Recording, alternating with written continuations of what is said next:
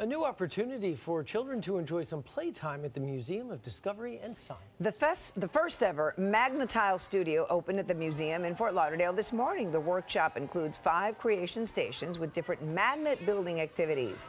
They focus on enhancing children's skills and understanding of several topics.